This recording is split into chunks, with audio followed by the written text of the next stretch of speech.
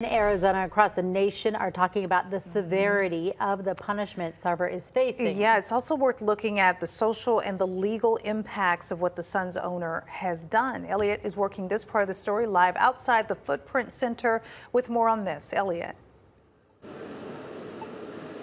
Hey, Yetta and Jamie, I spoke with Elizabeth Tate, who is a civil rights attorney here in Phoenix. She was not surprised about the NBA's punishment of Sarver, but between potential lawsuits for his past actions and little room for second chances in his future, she wonders how much longer Sarver is going to remain the owner of the Suns and Mercury. While they did what they did, this could be the beginning of the end for him. Civil rights attorney Elizabeth Tate is no stranger to taking on powerful figures in large organizations. After Robert Sarver was found to have engaged in racist, sexist, and abusive behavior, she believes more lawsuits could be coming his way.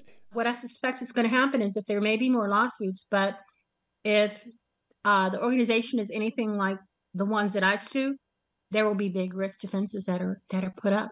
Tate believes Sarver and the Suns will use the league's investigation and findings of Sarver using the N word multiple times, of making inappropriate comments towards women and other team employees, as evidence that the team has already been punished, and that the training program Sarver must take moving forward are ways he and the team are taking action. In response to the NBA's punishment, the NAACP released a statement saying the NBA's response is shameful. Finding a billionaire 10 million is nothing but a speeding ticket. This is far from accountability. Tate expects those directly impacted by Sarver's past actions to become inspired by statements like these. There are definitely more rep- repercussions down the line. Um, there are people who may be feeling like they are bold enough to speak up now. Tate says the um, key is whether or not any evidence of discrimination is within the statute of limitations, which she says, depending on the type of lawsuit filed, could range from 300 days to up to four years. But no matter what Sarver's legal future holds, Tate expects him to be closely monitored by the NBA for the rest of his time as the Suns' owner. The people that gave Sarver his punishment probably want to take a wait and see approach and see if he's going to reform. And I think that um, that's definitely going to be a gamble, and it's going to really depend on him as to how seriously he takes what happened. Of course, as Nick mentioned earlier, Sarver did release a statement taking responsibilities for his actions and apologizing to those that he hurt.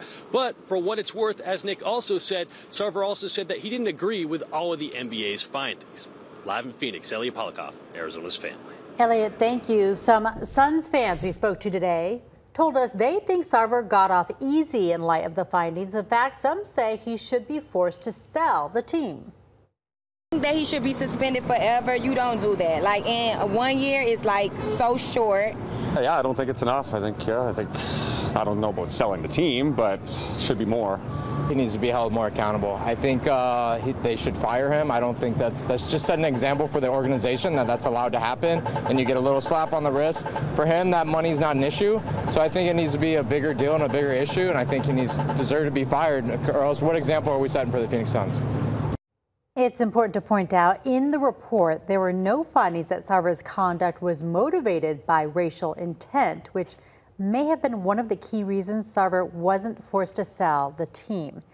We'll be keeping a close eye on the story for the very latest developments. Sent straight to your phone, download our free AZ Family News app.